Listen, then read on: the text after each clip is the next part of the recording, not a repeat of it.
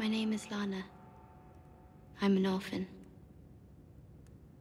When I was eight, I begged enough money to buy my first bucket of oysters. I sold that bucket and made enough money to buy two more. It took a while, but I finally saved enough to buy myself an oyster cart.